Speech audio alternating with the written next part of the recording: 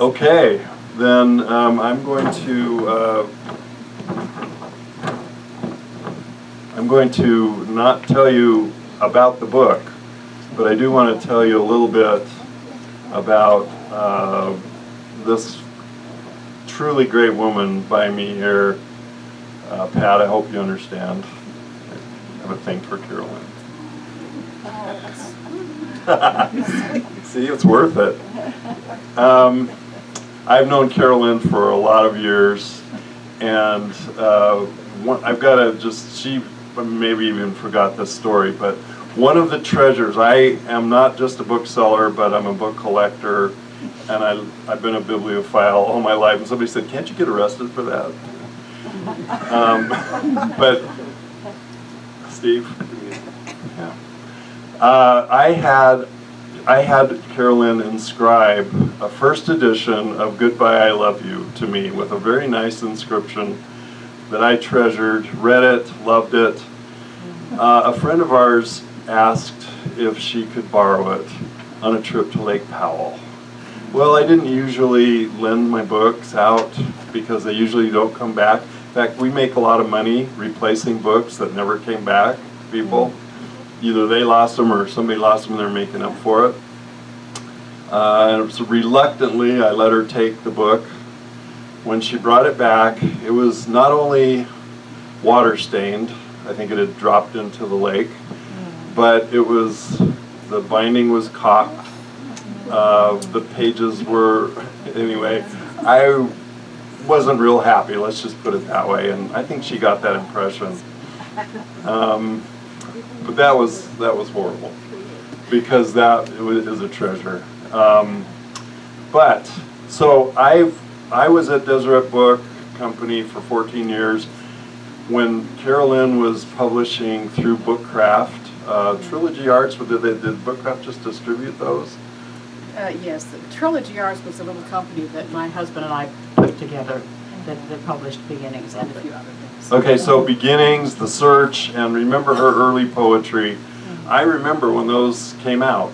That's I was 12, I think, but uh, I was a prodigy, and Deseret Book could, yeah. He likes older women. Yeah, that's right. Um, but so I've watched as she has published over the years, and and as a bookseller, it's been a thrilling thing to be able to know such a stellar author. Um, so you know a lot of her works. Um, of course, this is the one we're talking about tonight specifically, The Ghost of Eternal Polygamy. The subtitle, Haunting the Hearts and Heaven of Mormon Men and Women. But she has done, as I mentioned, Goodbye, Love You. Uh, a follow-up to that, No More Goodbyes. Um, these are just ones that we still have in stock. We recently uh, had, we went to hear Carol Lynn at um, at Sun, the Sunstone Symposium, and we sold out of a lot of books there. So, uh, fortunately, she made sure we didn't sell out of the um, sell out of the new one. The Hero's Journey of the Gay and Lesbian Mormon.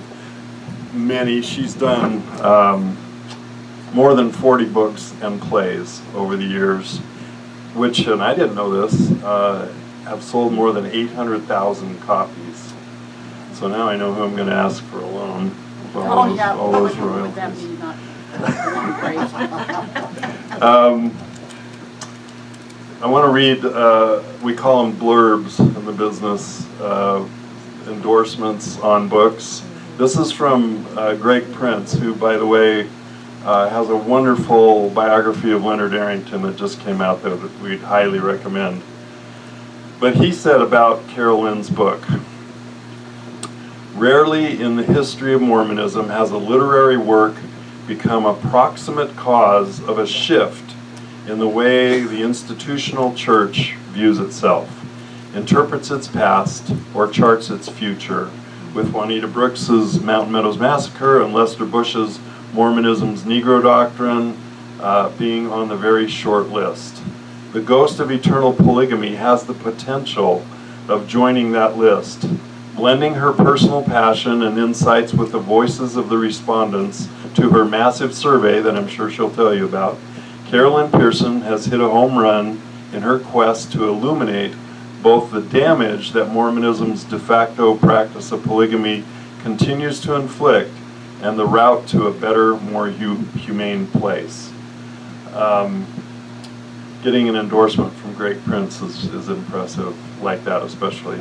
Uh, we sold uh, at the symposium, as far as I know, we sold the most books, a single title that we've ever sold. Uh, Carol Lynn's book. It was. We were really nervous that we weren't going to have any books for tonight. It came close, but she saved us uh, by providing some extra copies. So um, we want you to, after we do this, please bring your uh, your books if you've already got them, or if you still need to get them, bring them up front. She'll be sitting here to sign them, and uh, and if, if you want a personal inscription, she'll do that. Um, but as I said, I've I've known Carol Lynn for many years, and as a bookseller, and as a Mormon, and just as a human being, I, I count it a privilege to, to be her friend and to be able to sell her books and to introduce her tonight. So Carol Lynn Pearson.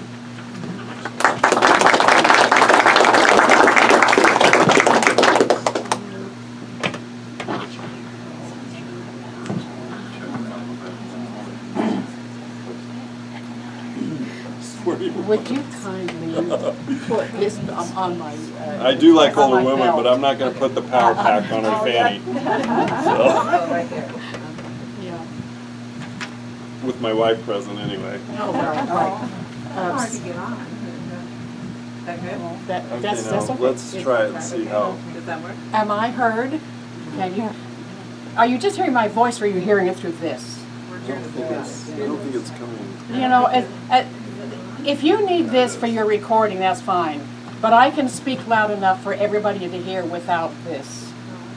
So, We'd rather not have it. oh, I would personally rather not have it. Oh, leave it Can you hear through it? Because I'm, we can't tell up here. It's fine. Leave it on. It, it is, it is Okay. amplifying? There we go. Okay. All right. Curt, thank you for all those fine words, and thanks to all of you for the excessive love that you poured on me, many of you, as you came in, into the into the room. But you know, I know how you feel. I, I woke up last night in the middle of the night and I said, I'm in bed with Carol Lynn Pearson.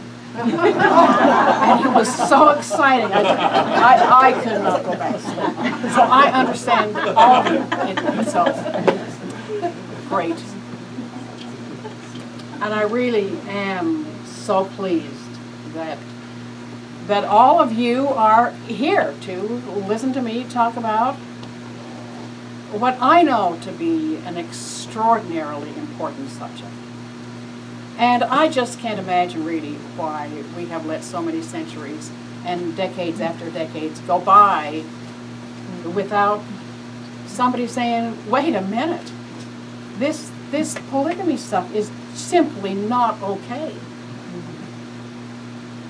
You will read quite a little bit in the book about my personal journey, but maybe I will tell you a few things anyway that you will say, oh, she, she already said that in the book.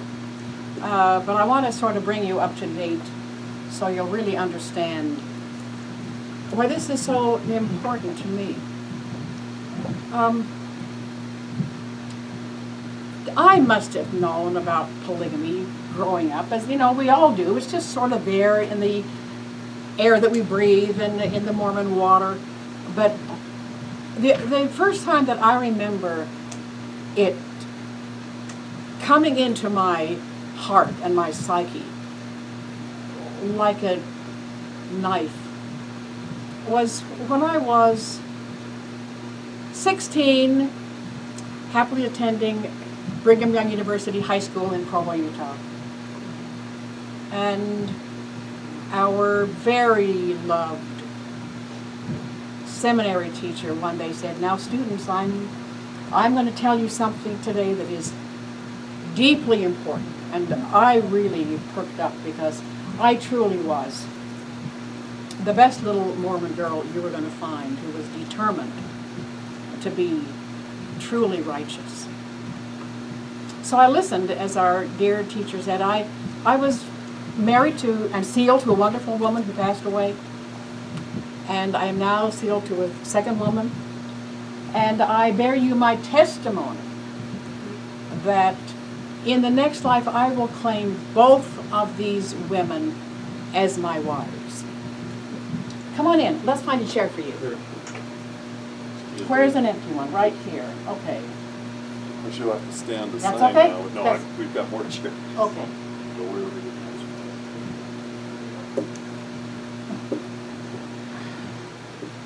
And he went on to say, I further bear you my testimony that our Father in heaven has many, many, many wives, and that's how life is extended. And I know this sounds strange to you young women especially, but I bear you my testimony that as you become less selfish and more righteous, you will understand this principle and yearn to live it. And I, I, I'm pretty much giving you word for word what I know he said because those words went over in my mind exactly as I had heard them time after time after time. And I remember walking home with something in my chest I'd never felt before. And it was the first time I ever felt any kind of a division between me and God, between me and God's church. And as a student of BYU, I spent a lot of time studying this, the place of woman in God's plan, which obviously was secondary to the place of man, you know, like silver is secondary to gold. And, and with polygamy as the, the centerpiece that proved beyond all question that maleness as a commodity is superior to femaleness. I mean, obviously, God is male, and he, God, He could have chosen to be anything. But so anyway, I, I was an extraordinarily good student at BYU. I was as righteous as they came in keeping all of the rules, and I cried a lot. I cried, and somehow I pushed quite a bit of that away and made the extraordinary decision that something was wrong somewhere, and I think it was not wrong with me. I think there's something wrong with the system. I was somehow brave enough to let my mind go there so I wasn't just crying all the time. And you know, life moved on. I got a, a master's degree in theater at BYU. And then I fell in love with this charming young man and we married in the Salt Lake Temple. You know what? Next month is our golden anniversary. On September 9th, Gerald Pearson and Carol Lynn Wright were wed for time and all eternity. And it's been a fruitful union, has it not? Many of you have already told me tonight that what came of that has blessed your own families. And I'm really, I'm not grateful to have lived through that but I'm grateful that it has been a blessing to you. And you know, actually, my husband said to me a number, and he and I never discussed my writing our story. It never, ever came up. But he did say several times to me, you know, Blossom, you are being set up to do something more than just writing these sweet little poems. You know that, don't you? So I already was aflame with women's issues, as he was aflame with trying to uh, to figure out gay issues in a church that, as he put it to me once, the problem is I love the church, but the church detests me. So we had kind of similar anguishes going on, and as as you know, as the story continued, um, our hope for the kind of marriage that we thought we could have was was not going to be. And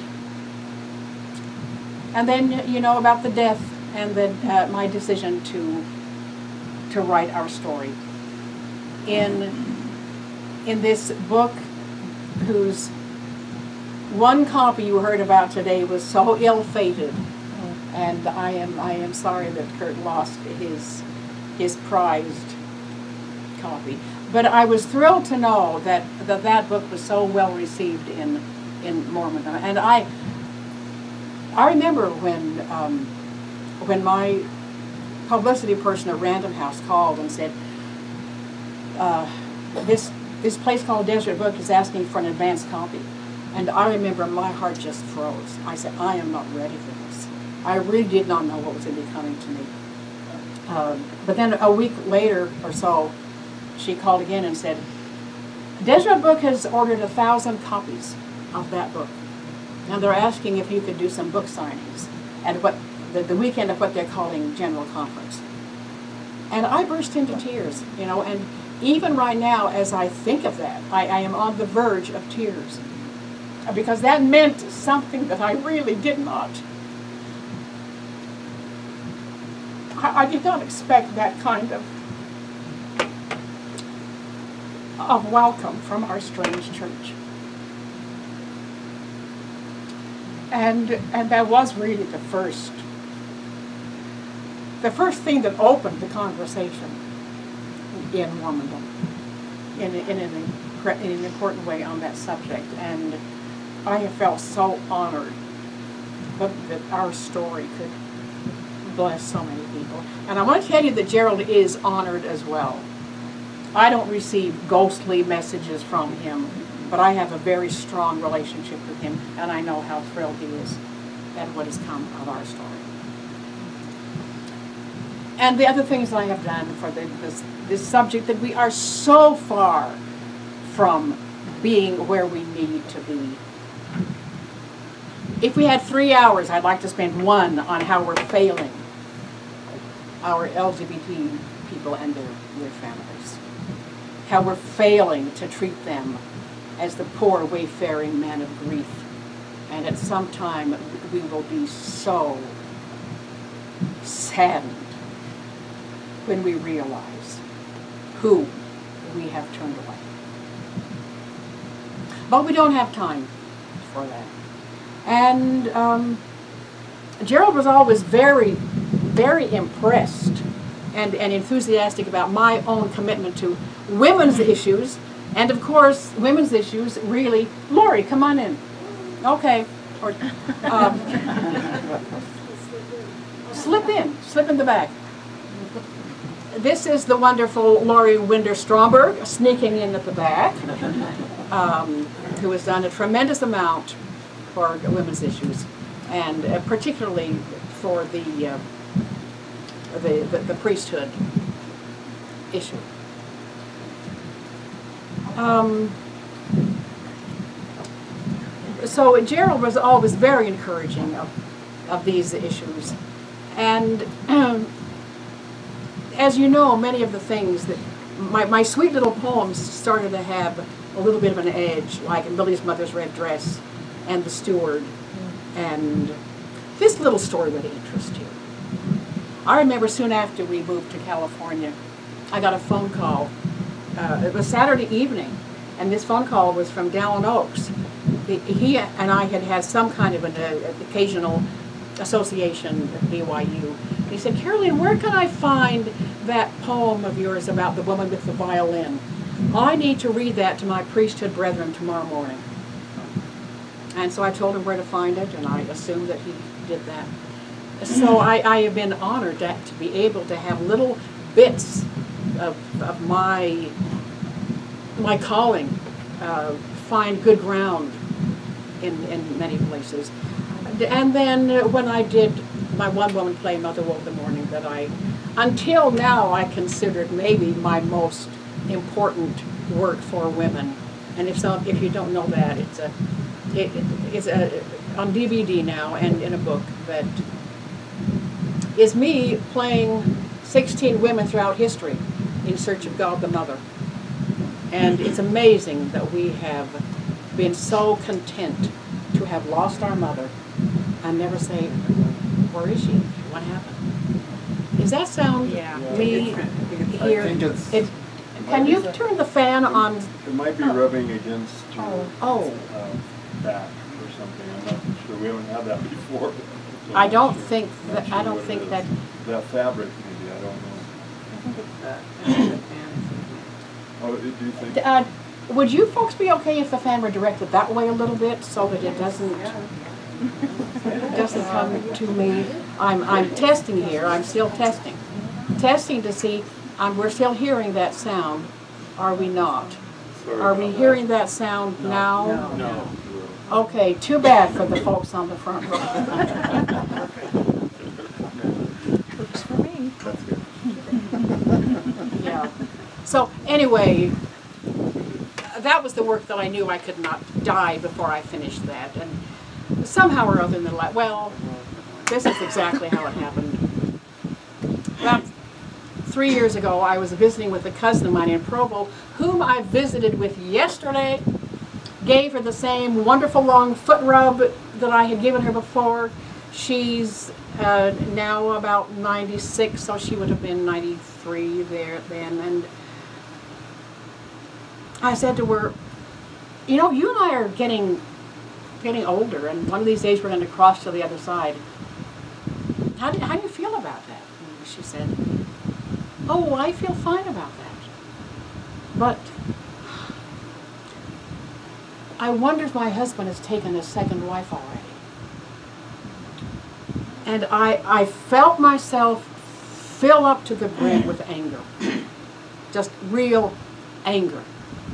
Now this woman, whose husband, whose husband loved her so that he cried every time he told me how much he loved his wife, that she would have to spend some time at the latter part of her life when she should have been in great anticipation waiting for his embrace, having to even have the thought, I wonder if he's taken another wife already. And uh, to me, that obviously was nothing more than extraordinary spiritual abuse. So I began to think about it more, and I had long since thrown it away as a piece of nonsense that had nothing to do with God. But I, I had received letters from so many women since I first published Beginnings telling me their trials in the Mormon patriarchy, some of which were centered around polygamy. Anyway, I knew that, like my cousin, huge numbers of women were in great distress about polygamy. And men. You know, polygamy is no treat for men either. It's not. It's good for nobody. Anyway, I, I began to,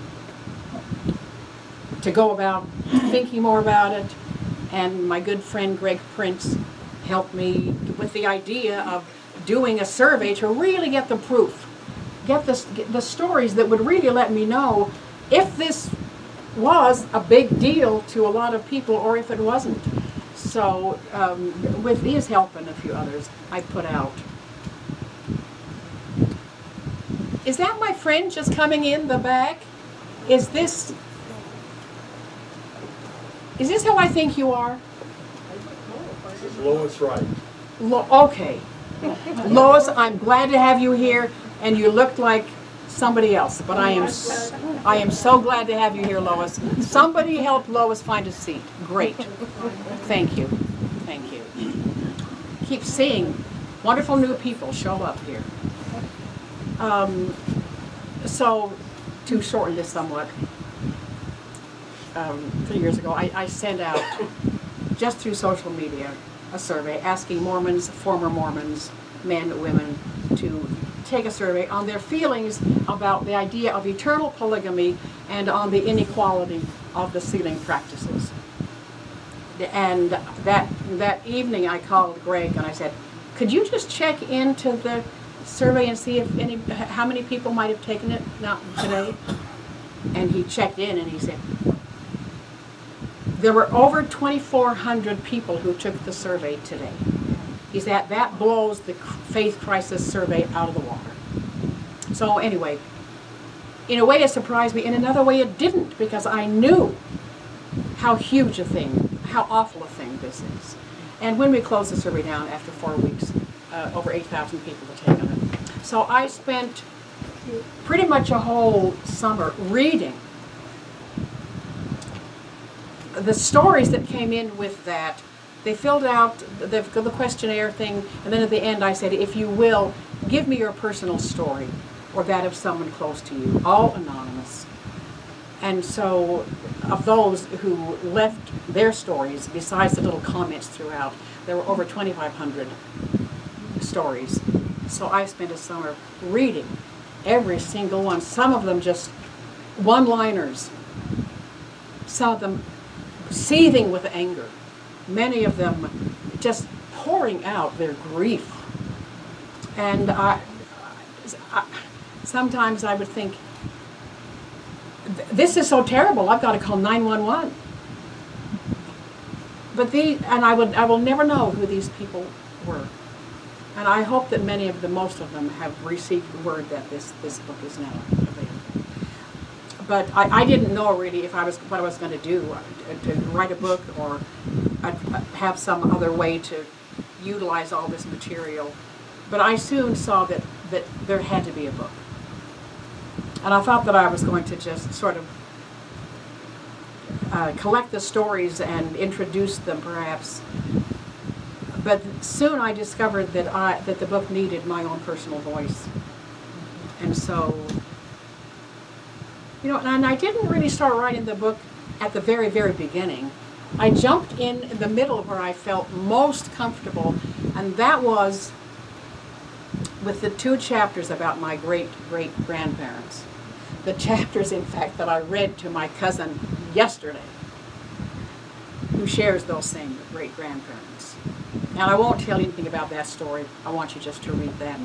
But as I as I put this book together and categorized the themes, like polygamy just drove me right out of the church, or I'm a sealed widow and I feel like a leper. Or I married a sealed widow, and I know that my biological children will never be mine in heaven. And of course, the more orthodox a person, the harder this hurts. So anyway, I, I prepared the book, I sat down, I wrote it, and and here it is.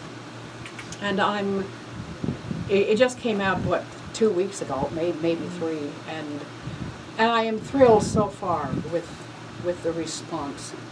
And because some of you may be wondering, uh, I, I do still participate very actively in my ward in, in California. And um, before this book was generally available, I contacted both my stake president and my bishop and said, I need to have a meeting with you. I want to give you a new book. It's going to cause a lot of attention, and I need you to have a copy, and I need to explain it to you. So actually my stake president and his wonderful wife came over to my home and we had a great hour and a half together. And I read them some things, told them why it was important, and they got it. And then a couple of, um, and I also said to both him and my, my bishop, I said, it's very likely they'll be getting a call from Salt Lake City. And I want you to know that I have done the very best I could with this book that I was called to write, and I want you to know that I trust you implicitly in your own calling about whatever you may ever need to do about this sort of thing. Uh, so I felt very, very good about those two meetings, and that's all I want to say about those good men. But to be grateful that I have, I have had maybe the luck of the draw in in having local leadership that has not only tolerated me, but truly appreciated me. So uh, I, I do understand that this book is is the, is the boldest thing that I have ever written, and I'm willing to, to stand with it. And I believe with all my heart that many, many more people will appreciate it than will condemn me for it.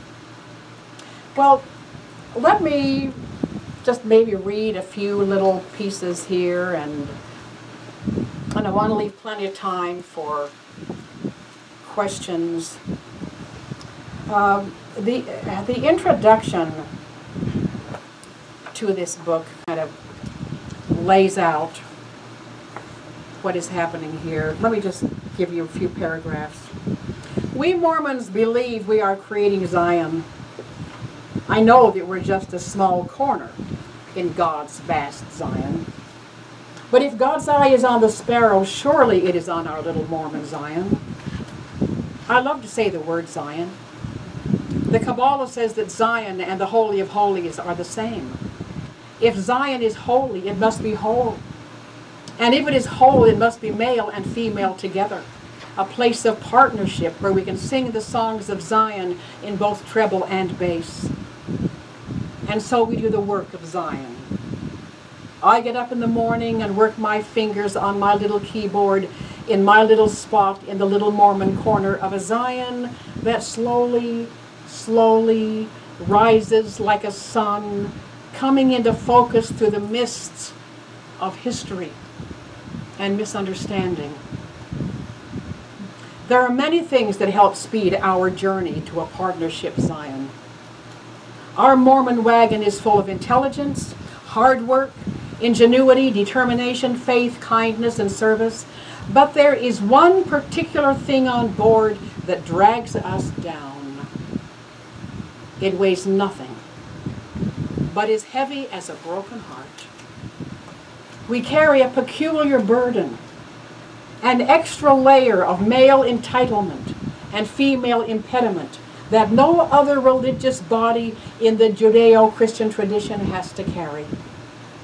A very distressing and complicated past and present and future with God ordained polygamy. For close to 200 years, polygamy has been an extraordinarily troublesome subject in Mormondom. Some Mormons today, women and men, view plural marriage as a blessing that we will someday understand. For others, it is just a bother, embarrassing and annoying and not to be taken very seriously. But for still others, a great many, I think, it is a blight, rather like the crickets that destroy a crop. These are the people I feel called to serve. And I have never had a calling that I honor more deeply. Between the chapters that have my voice are chapters that have I call other voices that I've selected from, from the survey. And as you read these, they'll just break your heart, so many of them. Here's, here's one, I'll just summarize it. A woman says, I had a conversation with my mom the other day, and she told me that she's not going to be in the celestial kingdom with my dad. That my dad's going to be there, but she won't be. And I said, Mom, what do you mean? You're the best woman I know. And she said, Well, no, I, I have determined that I will not be in the celestial kingdom where I believe I would be expected to practice polygamy. And consequently, I sin just enough to be sure that I will not be a candidate for the celestial kingdom. I know you have to you have to laugh about it. It's so terrible. And the woman said to her mother, "Well, does Dad know this?" Said, "Yes, we've talked about it, and he he understands, and we just try not to think about it." Mean, there are so many bizarre stories that, that come at the whole you know, there are some who that, that come at the subject directly in the ways that you know of a, of a, of a young woman being terrified that she, she will die before her husband does, knowing that almost certainly he will be sealed to another woman, and then without any any thought or acceptance of her own, she will be facing an eternity as a polygamous wife. Or, or, or the woman who who finally, after living with, after her first husband had been died, had died, after short marriage, she was married for 40 years to another man that she loved. And her older children came and said, Mom, we want to give you permission to see it, to break the sealing to our father because we know how you feel about your current husband. And they said that with knowing that somehow or other, nobody can explain this, but somehow or other, their eternal family was gone and how, who would they be sealed to? Floating out there, unsealed or whatever. But this woman was grateful that her children had uh, offered her that because she did love and want to be with this second husband.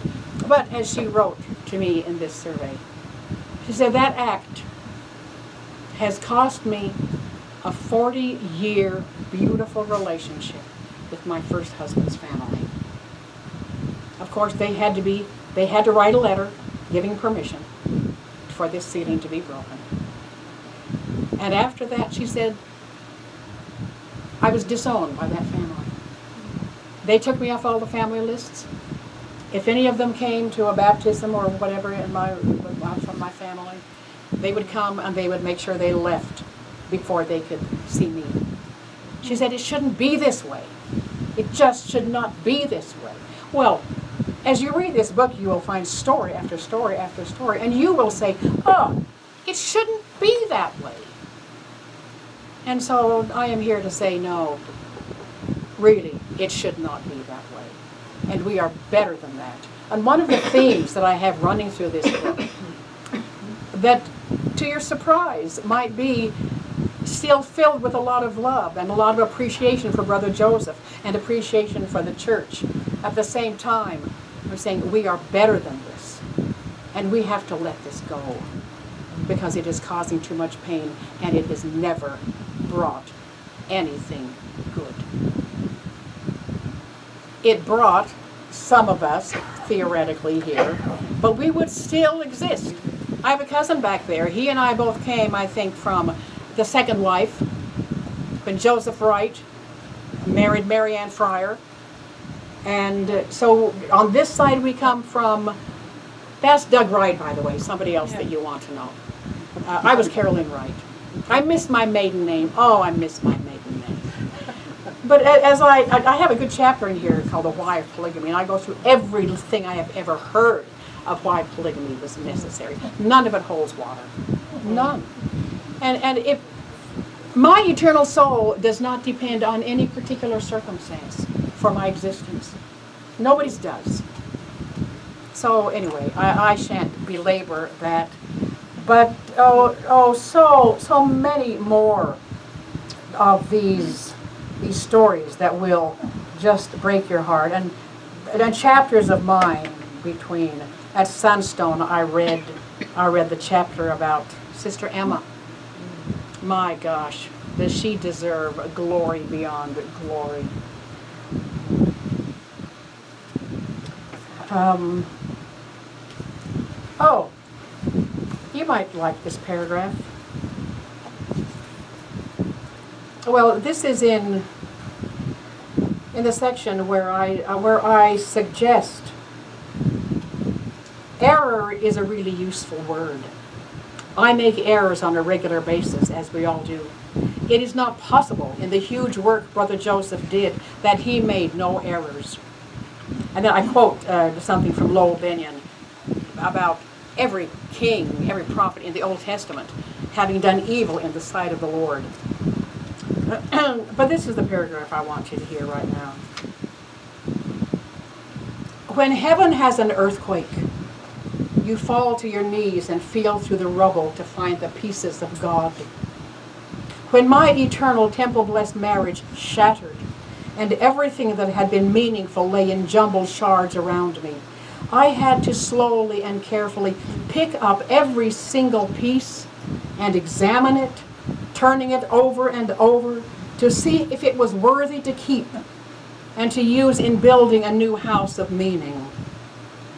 As I gathered the broken pieces of God, I used only my own authority, only my own relationship with the divine, and the good small voice that speaks inside me to appraise them.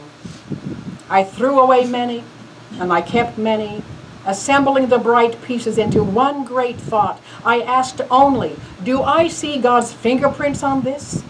Does this little piece feel godly? Does it speak of love? That made it easy. I was forever finished with the insane attempt to love a God who hurts me. When I picked up the little piece of God-ordained polygamy, I smiled because there was no question. I thanked the God of love, and I threw that piece away.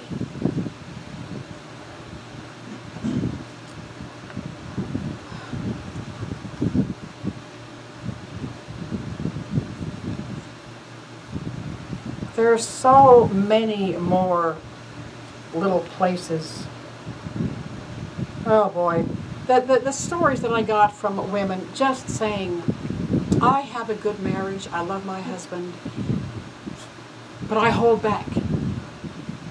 I know that I hold back in our most intimate moments, I hold back, such as this one. As a Mormon, I had grown up learning that polygamy could come back any time and would certainly meet us in the celestial kingdom.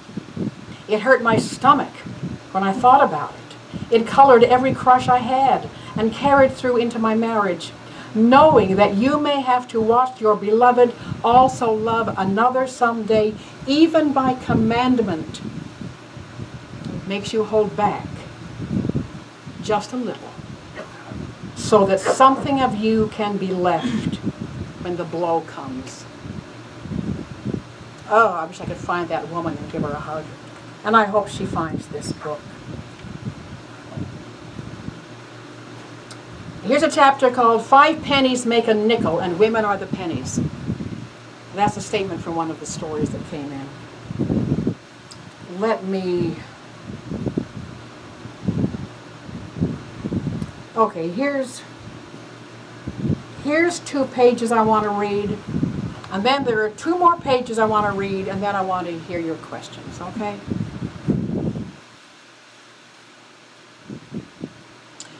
I experience Mormondom to be a warm and beautiful and well-appointed home in which you suddenly find you're in a patriarchy funhouse that features crazy, rippling distortion mirrors built to magnify maleness and diminish femaleness.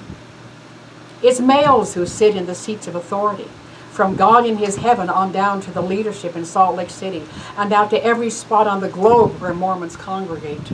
It's males we pray to and pray through.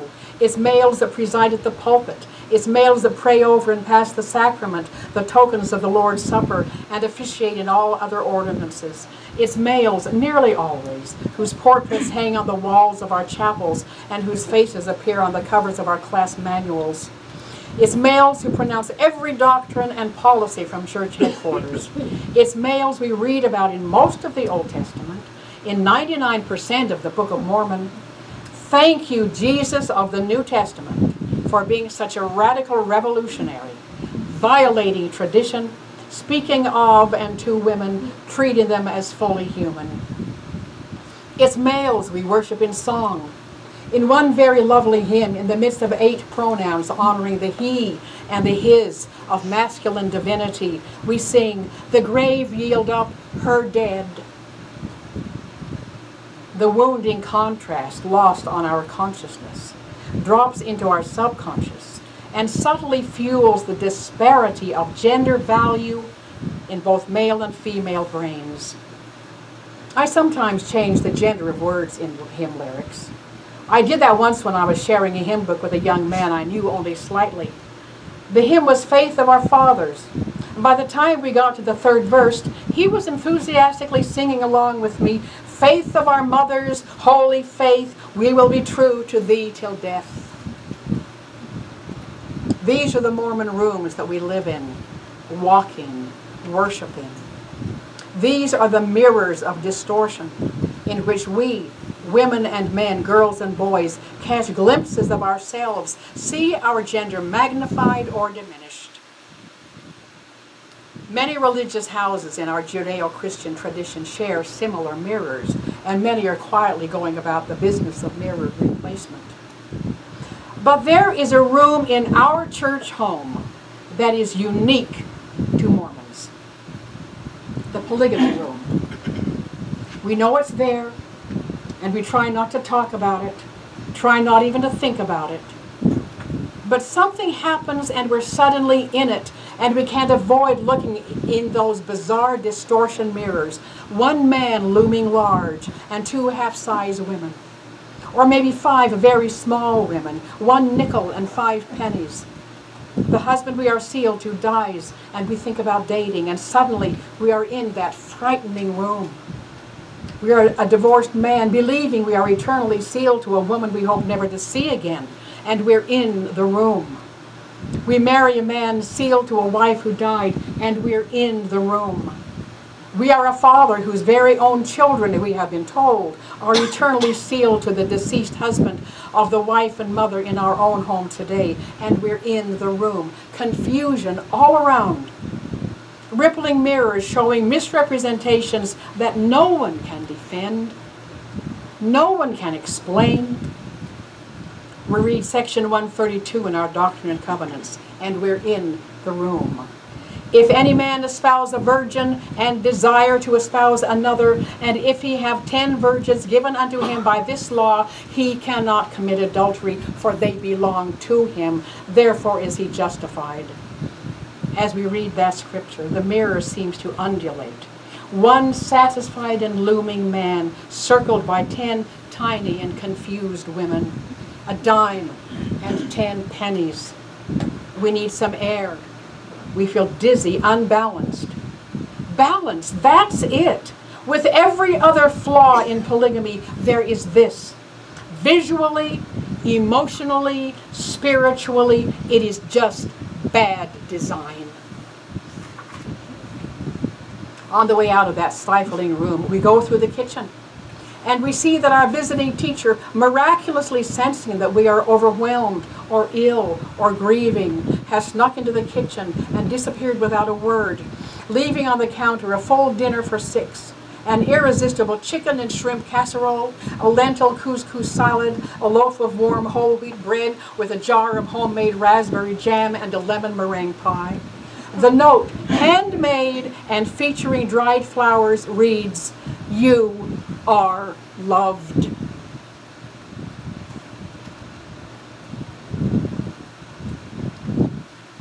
You will be most interested in the second to the last chapter, where I delineate, well, the title of this is Toward a Partnership Future, where I suggest the three very specific things that I believe will happen and must happen for us to truly achieve a post-polygamy future.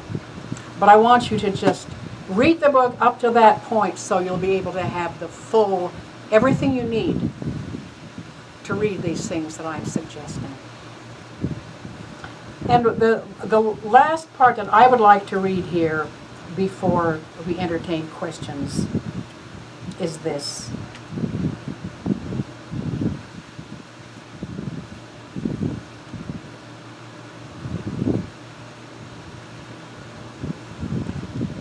The brother Joseph, whom I came to love, and whom I love still, would weep to see today's tears on this subject. He himself said, I have always had the satisfaction of seeing truth triumph over error and darkness give way before light. I believe satisfaction is what the eternal spirit of Brother Joseph felt as he saw the ending of the priesthood and temple ban. And I believe that satisfaction is what Brother Joseph will feel as he sees the departure of the ghost of eternal polygamy. This departure is inevitable, I believe, because we will listen to the better angels of our nature, because we want to be not only on the right side of history, but to be on the side of right, because polygamy bears bad fruit and has failed the test of Joseph's own words of being virtuous, lovely, of good report, and praiseworthy. It has proved itself to be a destroyer. We, leadership, membership, women, men, all are better than to allow the pain and the stain of polygamy to remain on a church that is so vitally good, so profoundly strong in so many ways, and so demonstrably based on the principle of love taught by Jesus of Nazareth, by Brother Joseph, and by every other man and woman across the globe and across the centuries who grasped a spark of God and shared a godly message.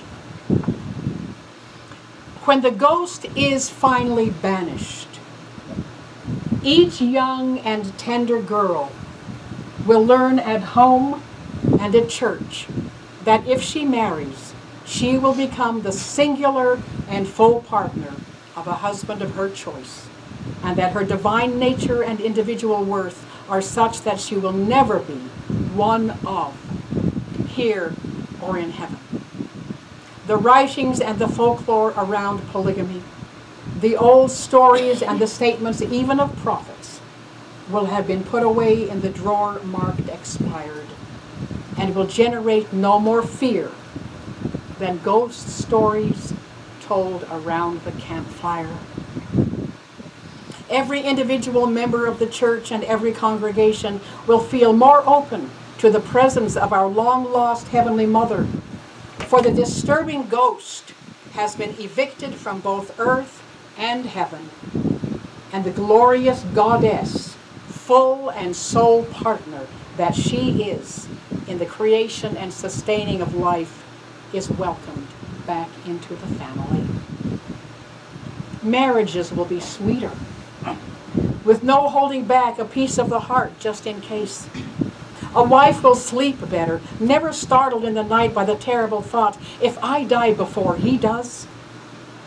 An elderly widow will spend her last days with peace of mind and no disquieting thought of, I wonder if he has taken another wife already. A husband will invest fully in his one and precious partner with never a thought that she is not enough here or will be added to in heaven. A widow will be able to mourn her loss, and then, if she wishes, look forward to a new relationship in which she can be seen as the desirable woman that she is, unobstructed by prior attachment. Her love for a past husband and a present husband do not conflict, for she knows that God is not asking her to make impossible choices, and that in heaven there will be many happy surprises. A man who chooses to marry a widow will do so with full confidence that this is a blessed union and can only lead to good in this world and the next for him, for her, for her children, his children, their children, and for her deceased husband. The entire family invests only in love and not in anxiety. Confident that each relationship, wife to husband, sister to brother, mother and father to children, is secure. The claim of our church that we create and support strong families will be even more true as the ruptures and the tensions produced by the ghost will have ceased. No one will experience apprehension over paperwork that plots out who will be with whom in heaven. All will breathe easily, confident that in the spectacular organization of the family of God, our Father and Mother in heaven, all of us will receive with each person we have loved and been loved by a perfectly designed relationship with eternal joy in good measure, pressed down, shaken together, and running over, a connection that our earthly minds cannot now begin to grasp. And intertwined with every benefit will be the supreme one. The shedding of an old and debilitating distrust in a God that for many faithful LDS women and men has brought untenable spiritual and theological dissonance. A God who has prepared an eternity that will break the hearts of women and render them forever subordinate will be dismissed as preposterous. We will see with more clarity and with deeper appreciation the one in the mirror, the one on the other side of the bed, and the one who thought this all up in the first place. A new buoyancy will render us a stronger people, a people more prepared to gift the Lord with our portion of Zion. And finally, witness the mystery of transformation. Patriarchy has been spinning silk for its chrysalis. The process of deconstruction is underway a shell breaks and a bright thing shivers. When the little butterfly of equality, of real partnership, begins to move her wings in Mormondom, A shift will be felt in far places. We are one, and when one is blessed, the blessing is for all. A woman in Ethiopia will refuse genital mutilation for her daughter. A girl in the desert of Afghanistan will bravely walk into a school for the first time. And in Osaka, a man, for no apparent reason, will decide against purchasing another girl for his brothel and instead may find himself drawn to the fishing industry. I'd love to read you more, but let's end there and have some questions. Thank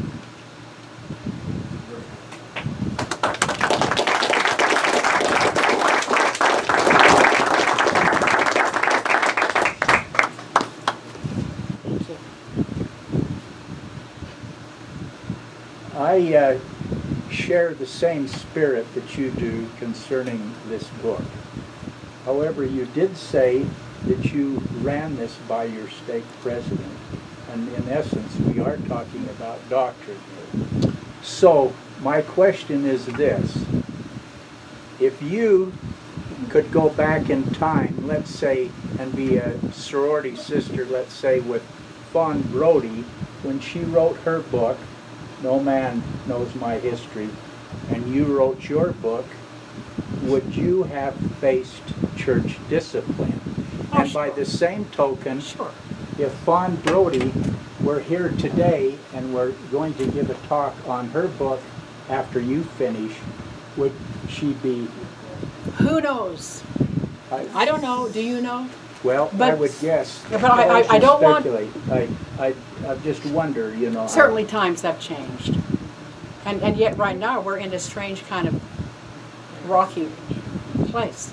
And I, I don't want to leave the impression, as, as perhaps you suggested, that I ran this by my stake president. And he said, oh, great.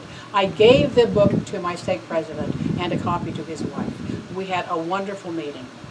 I, uh, I, I know uh, that they have read. I have not spoken to him since then.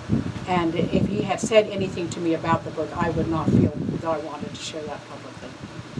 Uh, there are, you will see in my list of appreciations there a mysterious statement that says appreciation to several church leaders whose enthusiasm for this book has meant the world to me. Another question? Yes. I heard you say that you found no basis for the practice of polygamy in your research. Is that correct? Mm-hmm. What I found was no reason to say polygamy was essential and important and created good things.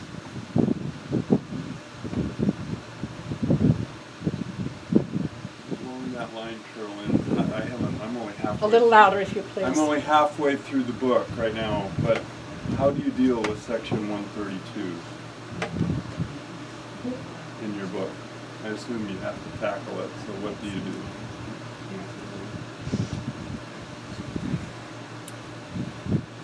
One of my suggestions toward the end of the book is that section 132 be given an inspired revision in a way that would make the wording there such as not to routinely break the hearts of women as we read that.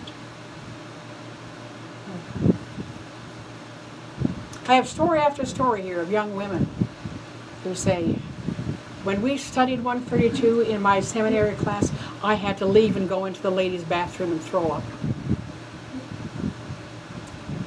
Um, so many stories where a husband will read that section to the wife saying, I want you to listen to this. I don't want you to be destroyed. You know, you listen to me and you follow me. They're, they're just, uh, well, I'll just leave it at that. Yes. But you would like to see section one thirty-two drop? the words that I use here is be given an inspired revision.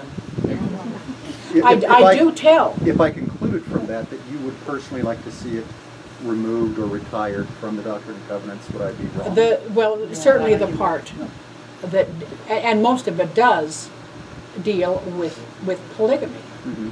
And for, for the most part of our history, celestial marriage and polygamy were one and the same. They could not be separated. Well, point out too, in the, in the book that uh, James Talmage tried to do that. yes, and I, w- I was about to, to bring that up.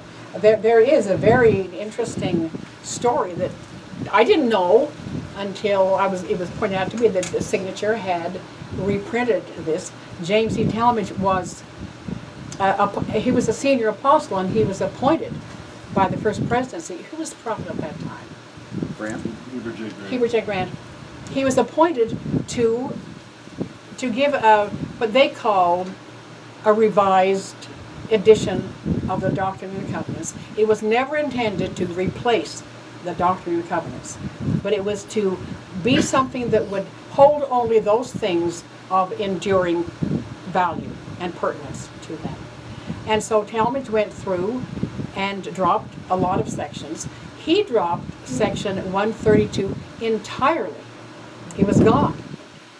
And as soon as that became evident, the fundamentalists, and that's not the kind of fundamentalists that we talk about today, but the Mormon fundamentalists within the LDS Church, who were in the, when was that, in the 20s, the 30s? 1930, published in 1930. It's called Latter-day Revelation. Yeah.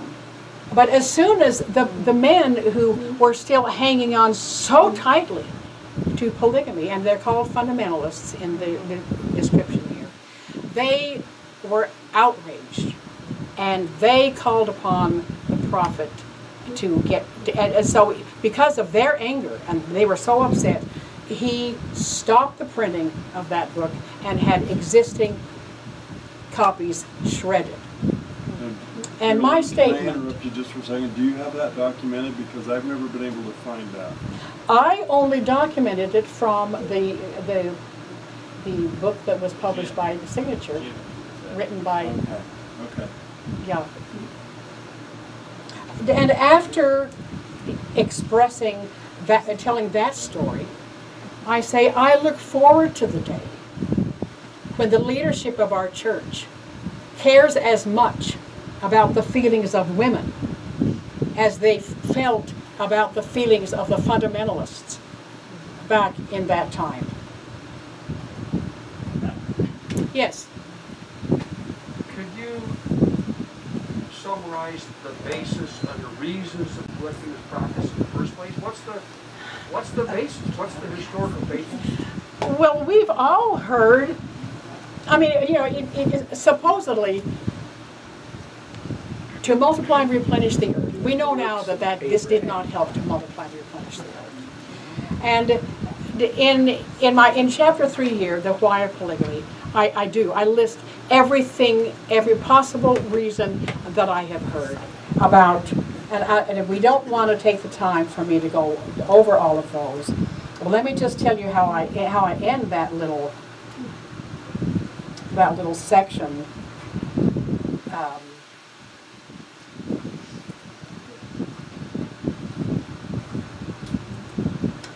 wait, where are we here? Okay. The- Um,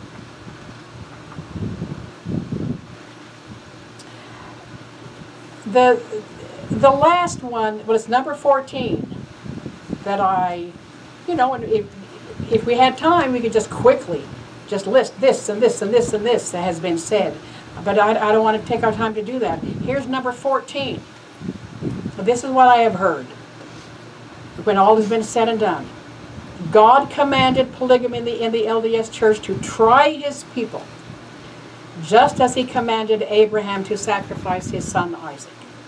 Yes, the practice is unjust and sexist and hurtful, and there is no good way to defend it, but God gave it as a test of faith. Now, my par- little paragraph responding to that is this I do not believe that the God of love works this way. In the terrible story of Abraham being commanded to kill his son Isaac, The knife was raised, but the sacrifice was interrupted before it was enacted. There was no ram in the thicket for the Mormons. The appalling trial of Mormon plural marriage was not interrupted decade after decade, and the painful story continues today. Isaac is spared the blow. Mormon women are not. Many have described the promise of eternal polygamy as a knife in their heart. And in these pages, you will read of several of Joseph's wives who spoke of feeling as if they were called, quote, to place myself upon the altar a living sacrifice. So uh, that is the chapter that you will want to study. After hearing back from so many members and former members, do you have a sense for like how polygamy has impacted different generations? Like younger generations versus older generations? probably a little bit differently in each one, but, but the same in terms of this is something painful that we have to deal with one way or the other. And gosh, I've had women, just the other day, a woman said, my, my mother, who's older now, has been, well, she may have even used the word haunted by polygamy all her life and did not ever find a way that she could even begin to approach it. The pain was so large. But she sent, she got a copy of this book and she sent it up to her. And she lives in Washington. And she said, but when my, my mother called me on the phone and said she read it all in one quick day. And she said, for the first time in my life, I felt peace about polygamy, the way it was presented in this book, and, and that she could, she could release it. Now, lest you think that that this is only something for an older generation to deal with. Here's here's a little note, okay, from from the survey. I wish I could find this this young woman. I am 15 years old. I have struggled a lot in church for the past few years because I have conflicting feelings toward temple marriage and sealing. My stomach churned the first time I heard about eternal polygamy. And you know what? I refuse to believe it. The thought is disgusting and outrageous, and I refuse to believe that a loving Heavenly Father would have anything to do with something so unjust, so sexist, so unequal and objectifying as polygamy. I believe that if we push for this to stop, we can make it stop. Please be brave and never stop fighting for equality. Now, you're going to find women of all generations who will tell you, and, and, and it is true as far as their conscious mind is concerned, I don't give it another thought. I know that I'm just as equal in, in front of uh, God as anybody. anybody. Uh, polygamy, whatever it was, that's in God's hands. I, it does not bother me one little bit. I have those women, the one that I spoke to today in my family. Um, but I think that the largest portion of Mormon women have, in one way or another, at some point in their life, and many as an ongoing thing, have had to deal with something very, very painful. Yes. So, Joseph instigated polygamy for the church, and Joseph, the essays that came out, you know, that they were pretty damning, actually. You know, polyandry, and, and um, he lied to. Can you hear her? He lied to Emma. He lied to the people of Nauvoo. How do you make that? You know, how do you work that? That Joseph, because you, you Well, I've very already. I've already said that I think he made an error. Right. And- And so I don't I know how to make that he made an error and that still love him because I find the I find that contradictory in my brain. I know. And when you read this book, and I have had people say to me, your chapter about Joseph, about brother Joseph is just too nice to him. You just treat him too well. However, I believe and I feel everything that I wrote in that chapter. And, and I, I, I wrote it really from having spent two years in, in the 80s living with Brother Joseph, having been asked to write a screenplay that never uh, was, was never filmed, but it was to be a pro-Joseph screenplay. And, and so I studied. You know, I'm not a scholar like many of the people in this room, but I've spent a lot of time with Brother Joseph. And I was going to keep him at arm's length because he's the one that got us into polygamy. But I found it was it was easy to respect him, to like him, and in many ways even to love him. And we, you know, anybody who writes a story knows that if you paint a villain entirely black, you're you're not going to get a good character. And of course, I, I'm just having Joseph's real life, and in his real life, he was an extraordinarily generous man, and uh, and dearly loved his people. Uh, so, I, I hope you will be a little confused as you read some of this material. Yeah, well, yes. You know, I just uh, want to make a comment that uh, what you have said today means so much to me personally. My mother died at age 100, and she was in an assisted care facility the last seven years of her life. Uh, she just needed constant attention, but as family members would visit her, we'd bring up uh, photographic albums and talk about her siblings and our father who passed away 13 years prior to her death, and she would rarely talk about him. And we'd mm-hmm. bring up, you, in the last few years of her life, as she's had the sense that it was getting close, she, we would bring that. Are you looking forward to seeing Dad? And on a, one occasion, when two of my other siblings were there, she says, I try not to think about that. And we said, well, why?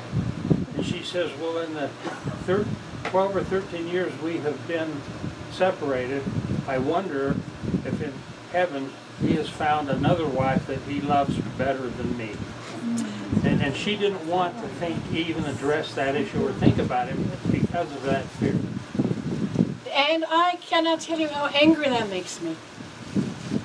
That is incredibly unacceptable spiritual abuse. It is. I don't know a better word for it. And it really ought to stop.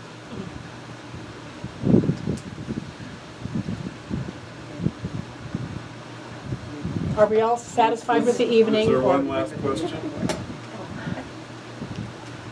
Any more? Okay, Amen.